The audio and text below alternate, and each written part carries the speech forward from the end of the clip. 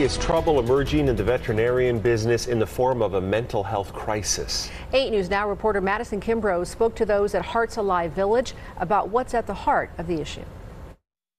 Here at Hearts Alive Village, it's been a struggle to staff vets for various reasons, but what many don't talk about is the high suicide rates among these doctors, too. So, this is a very special piece that we had made for a very special woman. Christy Stevens, executive director of Hearts Alive Village, showing 8 News Now a piece of artwork that was done in honor of a veterinarian who committed suicide five years ago. Her loss um, was absolutely tragic, and so we want to make sure that everyone's reminded every day of her sacrifice and that her legacy truly lives on.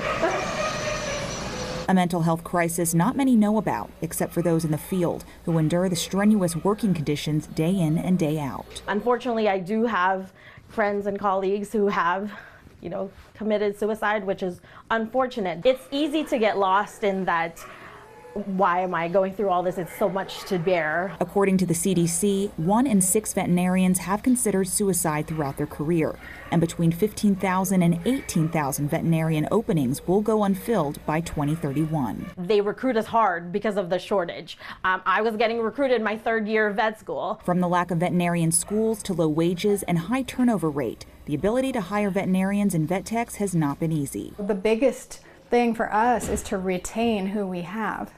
And honestly, it's been two years of, of difficulty for us finding the right veterinarian to fit what we're doing. And Hearts Alive Village doing what they can to combat the crisis, even offering unlimited off-site therapy to their staff in need. Reporting near Cheyenne and Decatur, Madison Kimbrough, 8 News Now.